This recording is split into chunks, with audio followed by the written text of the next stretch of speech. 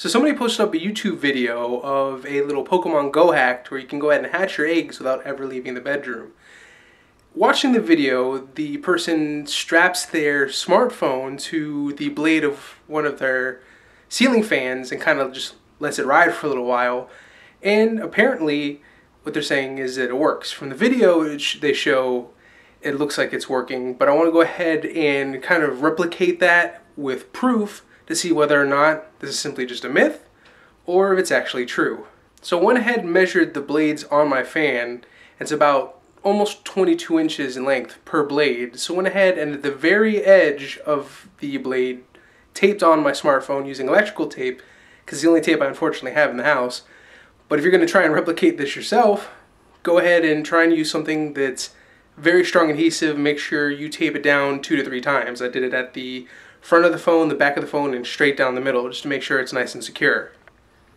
Although I probably wouldn't recommend actually doing this even if it does end up working. Now as you can see I kind of have using the electrical tape my phone taped down to the very edge of the fan blade. Hopefully that'll keep it fastened on there well enough otherwise uh, let's just hope that OtterBox really protects my phone like it's supposed to. Uh, let's see if we can see any real difference.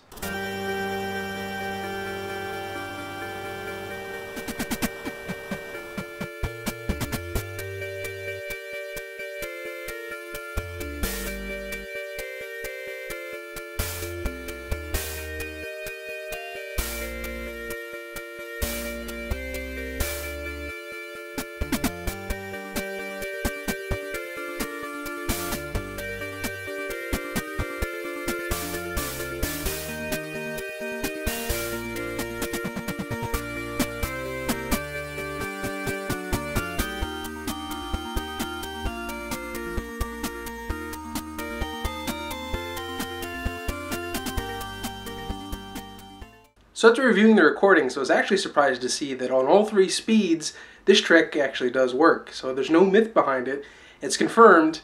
Uh, I would still say going out there, even just walking at a slow pace, would still be better when it comes to hatching eggs, but if you do not have that capability for whatever reason, or, or if like it's a Florida summer like it is here and it's just unbearably hot, then this could be a method that you can implement to go ahead and try and hatch your eggs.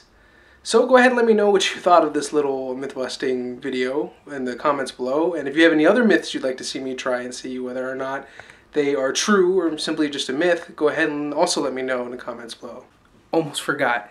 Also be sure to check out my in-depth Pokemon Go trainer's guide that shows you some nice tips, tricks, and secrets such as how to start out with a Pikachu, how to earn Pokecoins and other items for free without cheating or hacking, and also how to level up rather quickly. At level 5, you are sorted into Hufflepuff, Ravenclaw, or Gryffindor. Wait a minute, that doesn't sound right. No, I'm sorry.